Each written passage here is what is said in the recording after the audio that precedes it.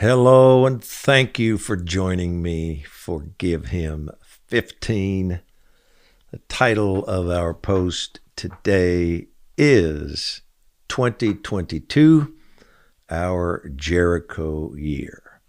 And before I read this post, I want to thank all of my friends for helping me out last week. We had some good time off, and I know you enjoyed their posts as well as I did. 2022, one of, if not the most important years of our lives. But first, since this is the first Give Him 15 post of the year, Happy New Year! And may 2021 vanish quickly. Now, regarding 2022, first, the bad news America is a mess. The crisis is huge, the battle is monumental, and the stakes are winner take all. I just watched an OAN news report showing a Lutheran church with a man dressed in drag teaching small children, God knows what, about the Christmas story. The tagline read, Lutheran Church offers drag queen prayer time to children. Founder Luther, we could use another thesis or two.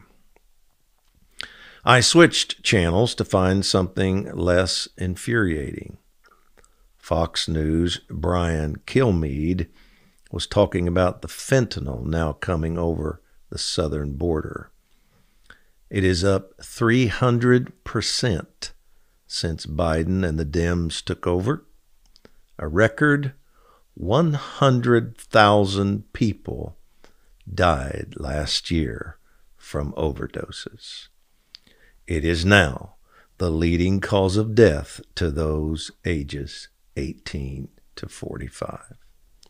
Why don't we hear about this from our leftist government and their media arm? Don't they know this is happening?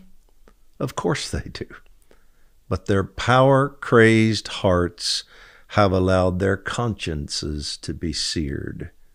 The end for them now justifies the means.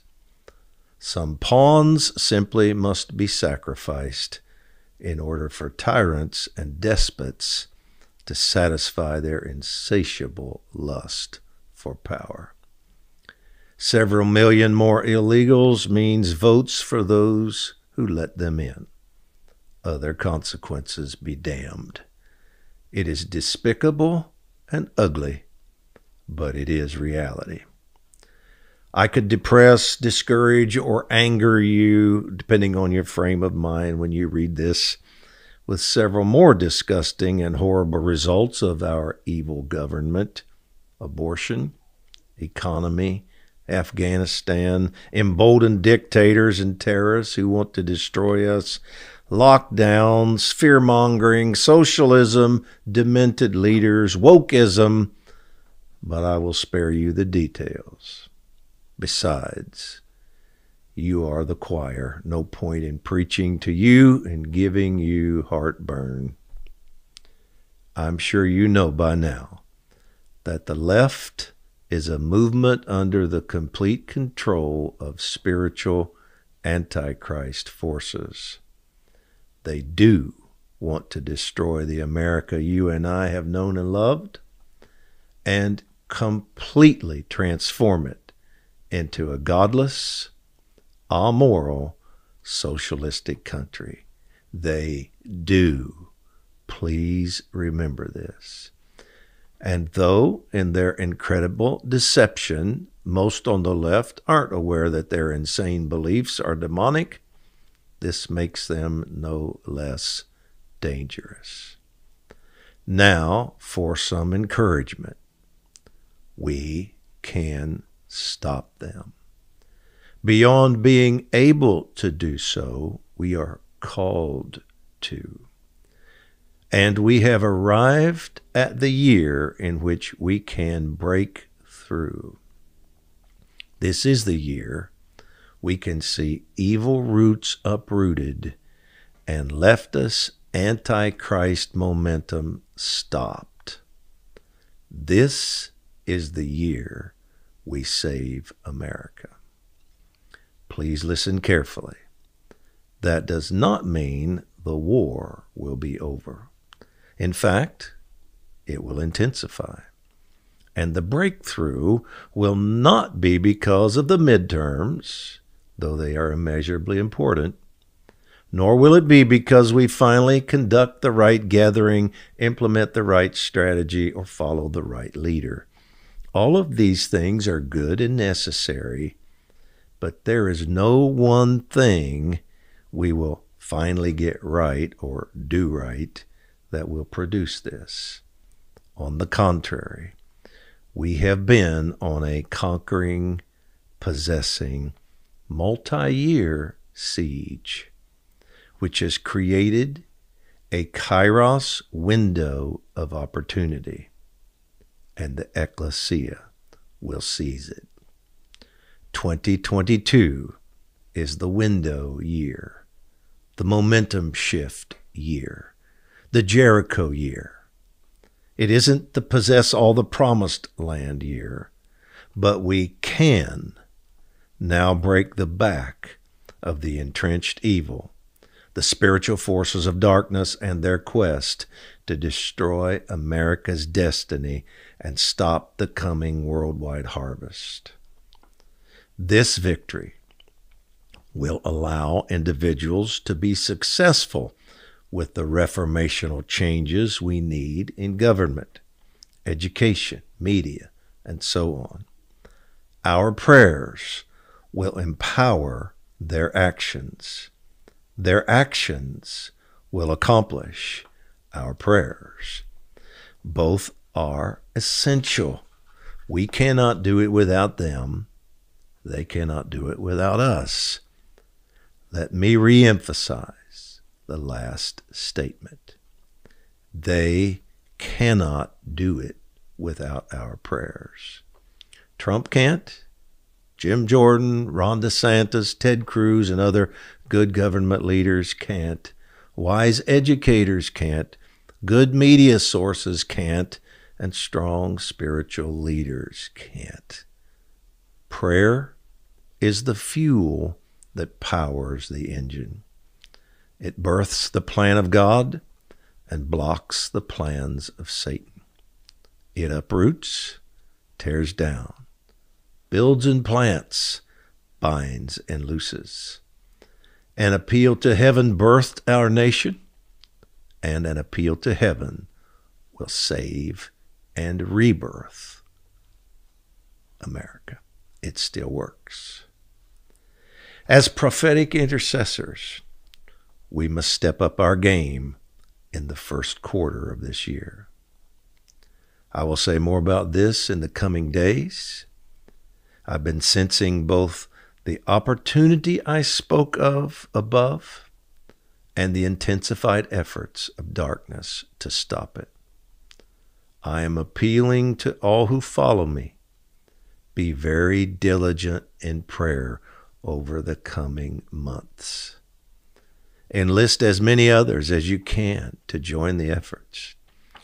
If you feel it helps, Start by reading this post and begin by praying with me. Holy Spirit will lead with further prayers. If you aren't part of a prayer group, a good prayer group, find one. If you can't find one, start one. It can be in person or by phone, morning or and, or evening, in homes, churches, offices. Just pray. My good friend Chuck Pierce told me last week that, quote, from now till March 21, our future, speaking of America, our future hangs in the balance. Get positioned properly. End quote. Let me read it again. From now till March 21, our future hangs in the balance.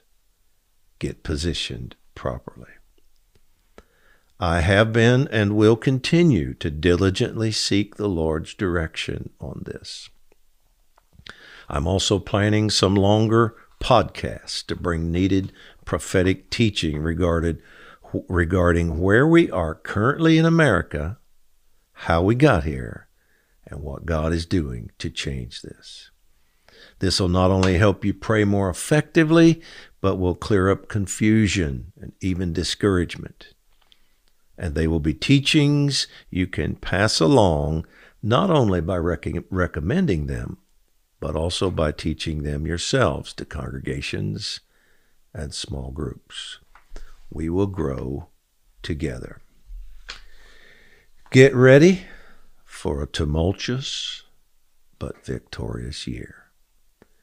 Thank you for joining us in this spiritual, eternal cause. Multiplied millions of souls hang in the balance, and we, the ecclesia, will tip the scales. We will. Pray with me, please. Father, we thank you for your wisdom and foreknowledge. We thank you for the assurance we find in knowing you are never taken by surprise and never without a plan. You have declared the end from the beginning, and it shall be so. Yet, our prayers and obedience to your plans and purposes have a bearing on timing and the level at which we experience the privilege of partnering with you. We do not want to be like Moses, Moses, Moses's generation, missing their opportunity and requiring your postponing of it until Joshua and the next generation. We want to be a people that, when you looked ahead in your foreknowledge, you found faithful, knowing they would not miss their opportunity. We believe we are a Joshua generation of Caleb's and conquerors. And may your grace be poured out, making this even more so. Give us a victory in the Dobbs case regarding abortion. End Roe v. Wade by giving us at least five justices that hear your heart and make your ruling regardless of how you have to do it. Whatever level of pressure you have to bring, whatever method you, you choose, please do this. May this case position America to end Baal's reign over us, making possible the healing of our land. And we pray that you orchestrate an increase of prayer in this pivotal year we know this is the year. We must break through.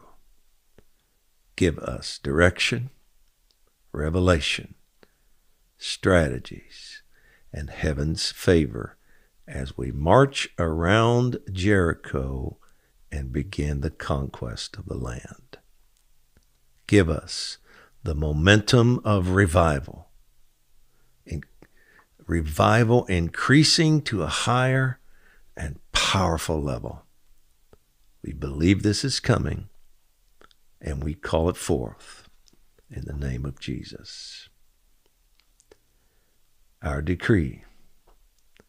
We decree that 2022 will be the year America is saved. Thank you so much for joining me I look forward to the upcoming posts. We're going to move forward this year. In this first quarter, we're going to follow God's leading and we're going to get it done. Spread the word. Thank you for helping. Let's keep pressing forward. See you tomorrow.